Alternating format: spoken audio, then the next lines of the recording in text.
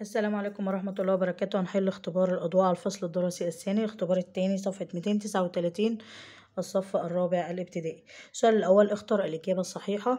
أي من ما يأتي يعبر عن الشعاع بي سي. الشعاع يعني إيه؟ يعني له نقطة بداية وليس له نقطة نهاية. الشعاع له نقطة بداية وليس له نقطة نهاية. أنا عندي ده بقول عليه قطعة مستقيمة وهنا ده شعاع BC وهنا ده خط مستقيم BC وهنا شعاع CB طبعا هو هنا عايز ال BC يبقى الشعاع اسمه BC السؤال التاني أي من التعبيرات الآتية؟ له نفس قيمة الكسر خمسة على تمانية. خمسة على تمانية. تعالى هنا أنا هنا واحد أدي اتنين أدي تلاتة أدي أربعة أدي خمسة. المقامات واحدة باخد تمانية واحدة وبجمع البسط. يبقى عندي البسط هنا خمسة يبقى خمسة على تمانية يبقى اختيار رقم تلاتة. هنا لو جمعت الخمسة والتلاتة يديني تمانية على التمانية هيديني واحد وهنا الواحد ده هفكه بتمانية على التمانية وهاخد تمانية واحدة وأجمع التلاتة مع التمانية وهنا أضرب الخمسة في خمسة على التمانية. السؤال اللي بعده سؤال رقم اتنين سؤال رقم تلاتة عدد درجات الدايرة. الدايرة كلها تلتمية وستين درجة. الدايرة كلها تلتمية وستين درجة. التمثيل البياني الذي تستخدم فيه صور للتعبير عن البيانات يسمى. أنا بستخدم صور يبقى التمثيل البياني بالصور. هستخدم الصور يبقى اسمه تمثيل بياني بالصور.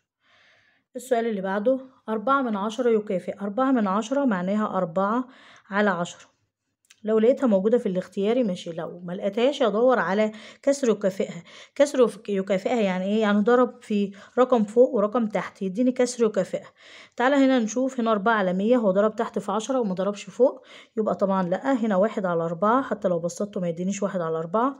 فوق هنا عشرة على أربعة هنا زود صفر وهنا زود صفر يبقى هو الاختيار رقم أربعة. هنا ضرب في عشرة بقت مية هنا ضرب في عشرة بقت أربعين. الصيغة الممتدة للعدد اتنين وخمسة وتلاتين جزءا من مئة تعال نفكه عندي اتنين صحيح. زائد تلاتة من عشرة يعني تلاتة جزء من عشرة. زائد خمسة من مئة يعني خمسة جزءا من مئة ادي اتنين صحيح وتلاتة جزء من عشرة وخمسة جزءا من مئة السؤال اللي بعده سؤال رقم سبعة واحد وربع زائد تلاتة على أربعة. هجمع الأول أرفع الكسر. عندي عدد صحيح وكسر أرفع الكسر. واحد في أربعة بأربعة واحد خمسة على أربعة. يبقى الكسر ده بقى خمسة على الأربعة. عملت إيه؟ ضربت وجمعت. الواحد في أربعة بأربعة وجمعت عليه البسط بقى خمسة على أربعة. كده المقامات واحدة هاخد منها أربعة واحدة وهجمع البسط. خمسة وتلاتة هيديني تمانية على الأربعة. تمانية على الأربعة عايزة تتبسط لأن هي تقبل القسمة. التمانية تقبل القسمة على الأربعة. إلا أضربه في أربعة؟ يديني تمانية اللي هو الاتنين. يبقى عندي الاختيار رقم اتنين. ثانيا أكمل ما يأتي. سبعة زائد تسع أجزاء من عشرة زائد اتنين جزء من مئة. عايز العدد في الصورة القياسية هو جايبه في الصيغة الممتدة. سبعة صحيح وأدي العلامة العشرية بتاعتي. تسعة من عشرة يعني تسعة بعد العلامة على طول. وهنا اتنين جزء من مئة أدي اتنين جزء من مئة. سؤال رقم تسعة؟ مربع طول ضلعه تلاتة على أربعة فعايز محيطه محيط المربع بيساوي طول الضلع في أربعة.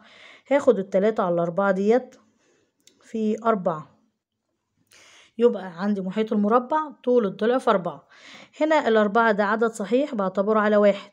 وبضرب البسط مع بعضه والمقام مع بعضه. بضرب البسط مع بعضه والمقام مع بعضه ولو عندي تبسيط ممكن أبسط قبل الضرب. أنا عندي هنا أربعة في البسط وهنا أربعة في المقام. يتبقى لي المحيط هيتبقى لي تلاتة. ولو عايز تضرب هتضرب التلاتة في أربعة باتناشر اتناشر على أربعة تديك تلاتة. نشوف السؤال رقم عشرة. هنا المقامات واحدة هنا عشرة وهنا عشرة هجمع الأعداد الصحيحة مع بعضها والأعداد الكسور مع بعضها. الاتنين وواحد هيديني تلاتة. المقامات عشرة باخد منها واحدة بس. وبجمع سبعة وتلاتة يديني عشرة. عشرة على عشرة هيديني واحد صحيح. يبقى الناتج كله هيساوي أربعة. علشان العشرة على عشرة بتديني واحد والواحد بحطه على التلاتة يديني أربعة. سؤال رقم حداشر. هي جزء من خط مستقيم ولها نقطة بداية. جزء من خط مستقيم ولها نقطة بداية يعني لها بداية ولها نهاية اللي هي القطعة المستقيمة. القطعة لها نقطة بداية ونهاية. القطعة المستقيمة. نشوف السؤال التاني. عدد الزوايا المنفرجة في الشكل. عايز أعد عدد الزوايا المنفرجة. طبعا دي قائمة ودي قائمة. المنفرجة اللي هي دي أكبر زاوية ودي أكبر زاوية. يبقى عندي زاويتين عدد الزوايا اتنين. الشكل الخماسي الأضلاع له نقط رؤوس. هو له خمس أضلاع وله خمس رؤوس. عدد كسور الوحدة التي تكون الكسر الاعتيادي يعني إيه كسر وحدة؟ يعني عينك على البسط وتجيب الرقم اللي في البسط بس. كسور الوحدة اللي هو تلاتة. ليه؟ علشان أنا هقول له واحد على أربعة زائد واحد على أربعة زائد واحد على أربعة اتكررت كام مرة كسر الوحدة؟ تلات مرات. ناتج الطرح عند عدد وكسر ناقص كسر. لازم أرفع الكسر الأول. الواحد في خمسة بخمسة وتلاتة تمانية على خمسة ناقص أربعة على خمسة. يبقى قبل ما اطرح لازم ارفع الكسر. قبل ما اطرح لازم ارفع الكسر. اضرب واجمع. الواحد في خمسة بخمسة ومعايا تلاتة فوق يديني تمانية. وكده المقامات واحدة. باخد خمسة واحدة بس. وبطرح البسط. تمانية ناقص أربعة يدينا أربعة. ودي كسر حقيقي. البسط صغير والمقام كبير يبقى ملوش تبسيط نشوف الصفحة اللي بعديها.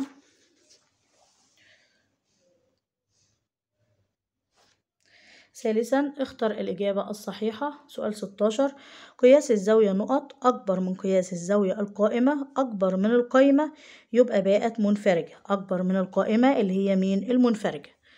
العدد الأقل تكرارا على مخطط التمثيل بالنقاط. أقل عدد هنا أقل إكسات هنا. طبعا اللي هو واحد وربع. العدد الكسري الذي يكافئ الكسر غير الحقيقي سبعة على أربعة. عايز عدد كسري يعني عايز عدد صحيح وكسر. طبعا أنت ممكن ترفع كل الكسور ده وتشوف إيه اللي بيديك الرقم وممكن تحلها من غير ما ترفع الكسور دي كلها. إن إحنا ننزل بعدد يقبل الاسم على الأربعة. حاجة اضربها في أربعة تقبل الاسم. يعني أنا لو نزلت الستة في حاجة أضربها في أربعة تديني ستة؟ لا مفيش أنزل الخمسة في حاجة أضربها في أربعة تديني خمسة؟ برضو مفيش أنزل الأربعة. في حاجة أضربها في أربعة تديني أربعة. أه يبقى هاخد الأربعة. الأربعة هيدوني واحد صحيح. المقام أربعة زي ما هو. خدنا من السبعة أربعة اتبقى من السبعة تلاتة. يبقى أنا بنزل لحد العدد نفسه. لو ما لقيتش حاجة تديني الاسم تقبل الاسم على العدد.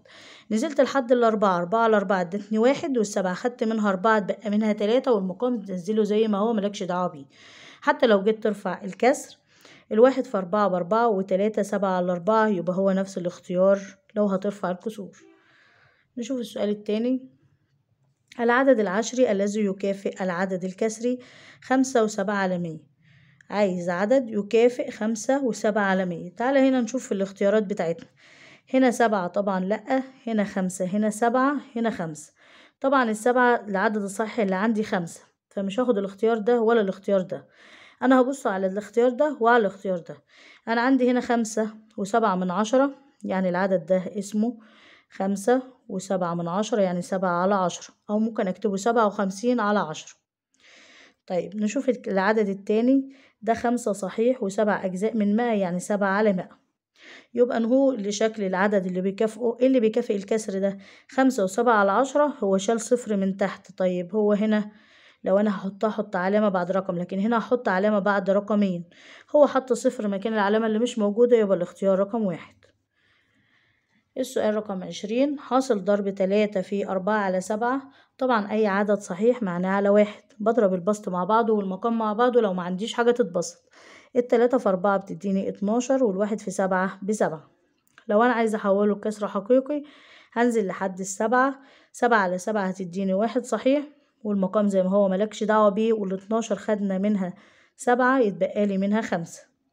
طبعا لو لقيت الاختيار ده ماشي ملقيتش خد الكسر غير حقيقي اللي هو اتناشر على السبعة. نشوف سؤال رقم واحد وعشرين. الكسر الاعتيادي تمانية على اتناشر في أبسط صورة. تعال نفك الكسر دوت عايزة أبسطه. التمانية دي اتنين في أربعة والاتناشر تلاتة في أربعة هقسم على الأربعة فوق وتحت. هقسم هنا على الأربعة وهقسم هنا على الأربعة. تمانية على الأربعة هتديني اتنين واتناشر على الأربعة هتديني تلاتة يبقى اتنين على تلاتة.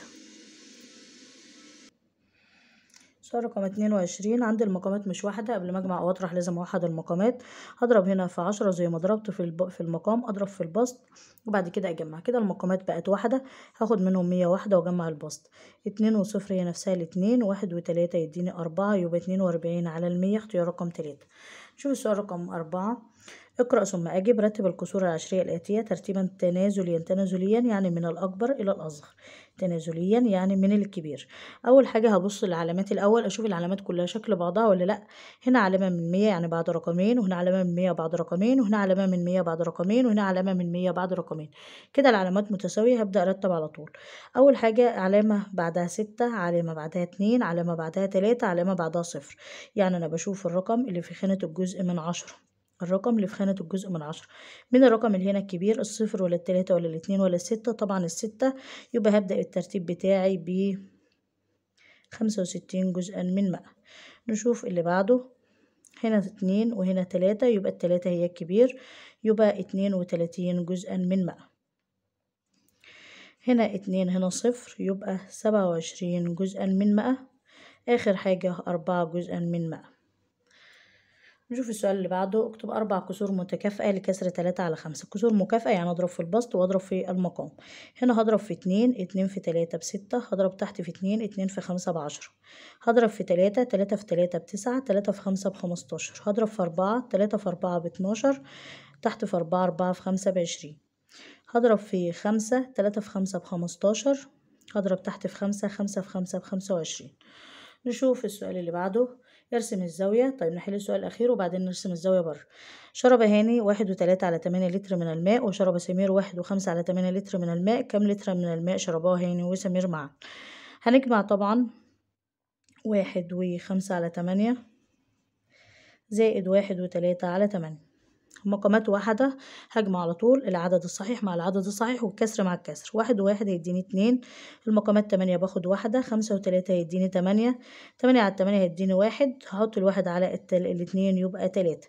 يبقى هقوله عدد اللترات اللي شربها هاني وسمير معا تلاتة لتر. نشوف الرسمة بيقول ارسم زاوية سبعين درجة زاوية حادة زاوية حادة زاوية نوعها إيه نوعها حد.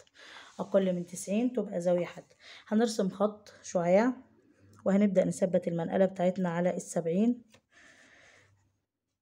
خلي النقطة على النقطة والخط على الخط. الخط الأسمر على الخط اللي انت رسمه والنقطة على النقطة. ونبص على الأرقام اللي تحت. هنبص على الأرقام اللي تحت. هنا الزاوية لما تكون مثبت على اليسار بتبص الأرقام اللي تحت. لو انت عامل النقطة على اليمين ومثبت على اليمين بتبص على الأرقام اللي فوق.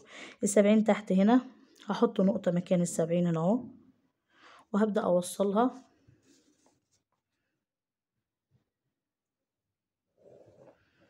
يبقى ديت زاوية سبعين درجة. طبعا إنجليزي. سبعين درجة. يبقى دي الزاوية بتاعتي سبعين درجة. ممكن تسميها تقول عليها A B C وممكن تسيبها. يبقى دي زاوية نوعها حادة كده. إحنا خلصنا الاختبار رقم اتنين. إن شاء الله الفيديو القادم هناخد الاختبار التالت. والسلام عليكم ورحمة الله وبركاته.